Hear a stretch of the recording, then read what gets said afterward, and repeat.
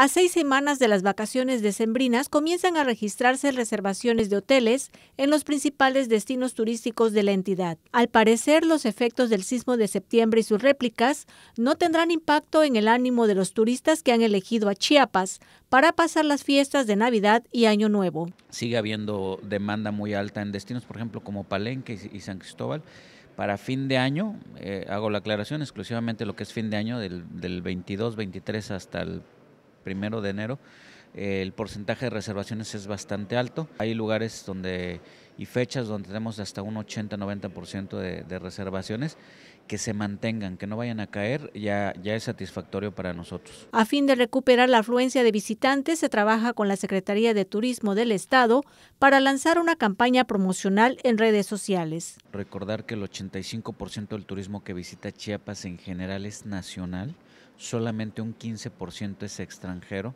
de diferentes nacionalidades, donde además está repuntando mucho el turismo guatemalteco. Previo a las vacaciones, agencias de viaje, hoteleros, turoperadores y restauranteros recorrerán varias ciudades del centro, occidente y norte del país para promocionar los destinos con los que cuenta la entidad.